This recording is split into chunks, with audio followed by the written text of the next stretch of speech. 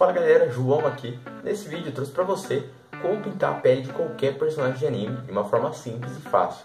E para você que não sabe quais cores usar, ou por onde começar, ou como misturar as cores, esse tipo de coisa, pode ficar tranquilo, porque nesse vídeo eu vou te mostrar tudo passo a passo, tá? Se você curtiu a ideia desse vídeo, já estrala o like aí, isso ajuda bastante o canal. Se você é novo no canal, primeira vez que você me vê, se inscreve aqui embaixo, porque toda quinta-feira tem de novo. Tamo junto e confere o vídeo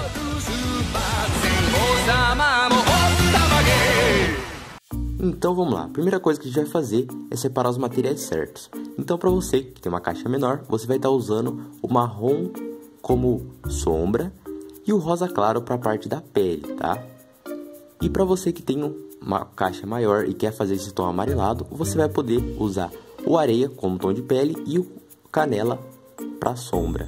Caso você queira fazer o tom rosado, é só você adicionar o bordô ali no meio, tá bom? Então vamos lá. Agora que você já separou as cores certas, tá na hora da gente começar a pintura.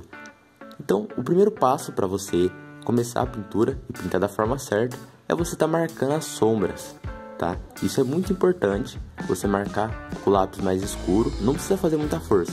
É só você deixar uma marcação para você saber onde começa, onde termina as sombras e onde fica cada sombra do rosto ou do corpo do seu personagem.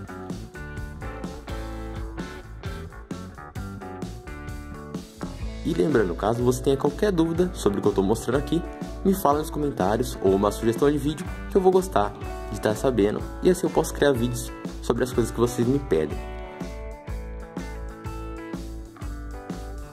Depois que você fizer isso, você vai estar passando a primeira camada que é da sombra, né? Nessa parte mais escura. E olha como eu estou fazendo, percebe que minha mão está longe do lápis? Então, essa primeira camada você não pode colocar pressão, não pode forçar muito o lápis. Tem que fazer bem de levinho, porque senão não vai dar o efeito que a gente quer. É muito importante fazer bem fraco essa primeira camada, porque senão as cores não vão misturar muito bem. E você vai entender o porquê. Então faça de leve e faça sem pressa.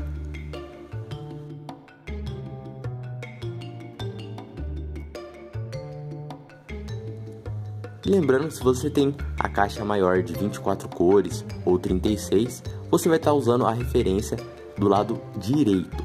E se você tem a caixa menor, é só usar do lado esquerdo, assim como eu estou mostrando, tá? Lembrando que os outros tons de pele vão estar na descrição, as outras combinações de lápis, para facilitar a sua vida na hora de você colorir seus desenhos. E fica comigo até o final, porque no final eu vou te mostrar uma forma de como você pode mudar os seus desenhos com o efeito que eu vou te ensinar no final do vídeo. Você pode estar reforçando agora, como eu estou mostrando, os lugares onde tem sombra. E uma coisa muito importante que eu esqueci de falar é que você tem que fazer movimentos circulares e pintar sempre na mesma direção. Porque se você não fizer isso, sua pintura não vai ficar uniforme e vai ficar cheio daqueles pontinhos brancos. E se mesmo assim acabar ficando algum pontinho branco, pode ficar tranquilo que eu vou mostrar como acabar com isso até o final desse vídeo. Então assiste aí. E agora, você que tem a caixa um pouco maior, você pode utilizar o areia por cima do canela, porque assim a gente já vai começar a misturar as cores. E o areia você pode colocar um pouco mais de pressão que você colocou no canela. Assim já vai começar a nossa mistura de cores. Isso é muito importante para o desenho, porque quanto mais cores você mistura, mais realista ele fica. E lembrando, se você gosta desse tipo de vídeo, já se inscreve no canal porque toda quinta-feira tenho de novo das coisas que vocês me pedem e tento trazer o máximo aqui para tentar ajudar vocês. Então, se inscreve no canal, ativa o sininho aí, não perde mais tempo, porque eu garanto que você vai gostar. E seus desenhos, toda vez que você vai pintar eles, ficam cheios de pontinho branco e você não sabe por que isso acontece, aqui na descrição também vai ter um vídeo especial te mostrando como evitar esse pontinho branco no seu desenho e como acabar com eles ainda hoje. Agora você que está com a caixa menor, você vai estar tá passando o rosa claro, né? Esse tom mais salmão do rosa por cima daquele marrom que a gente tinha feito. E agora o rosa claro você pode estar tá colocando um pouco mais de pressão, um pouco mais de força no lápis. Dessa forma vai estar tá misturando bem.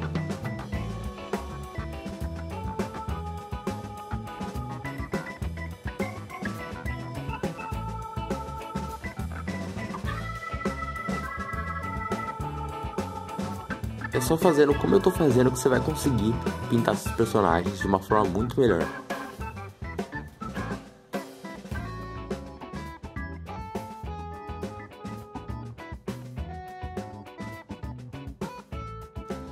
E eu preparei um vídeo especial, uma parte 2, caso você queira pintar algum personagem que a sombra não seja tão marcada assim.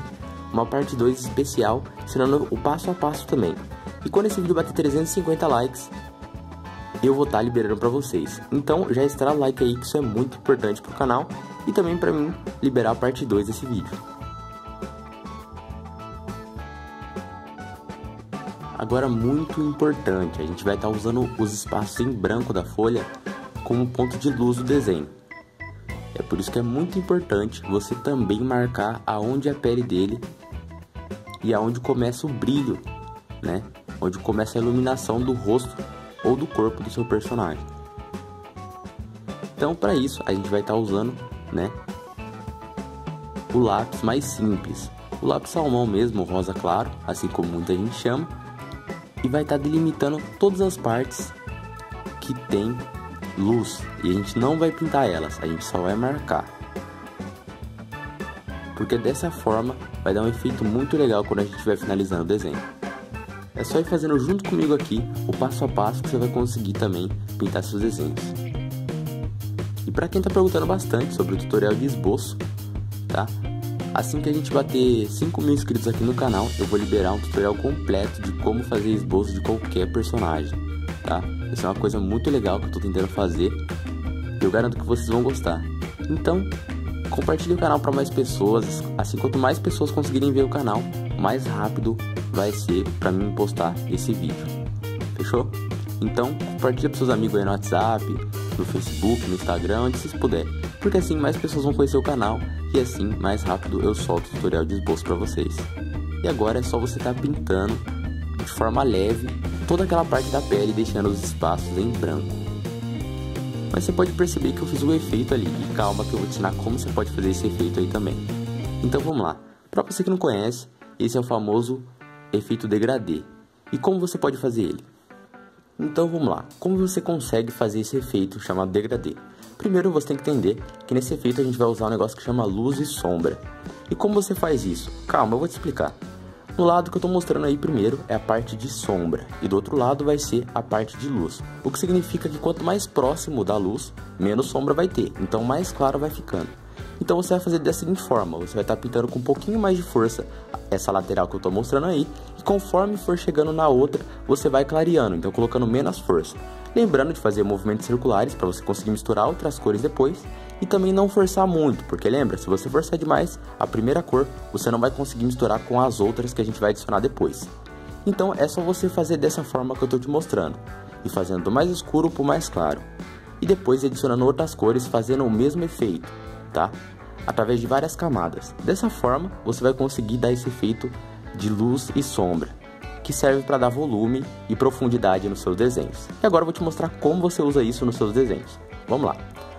No caso do Vegeta, eu utilizei em dois lugares. O primeiro lugar que eu usei foi na bochecha dele. Você pode perceber que eu utilizei fazendo a marcação ali onde vai ter a sombra e quando foi chegando próximo do nariz, eu fui soltando mais o lápis, pode ver que minha mão está distante do lápis, e dessa forma ficou mais claro. O outro lugar onde eu utilizei também foi na parte do pescoço dele, você pode perceber que uma parte é mais escura e conforme for chegando na beirada, foi clareando.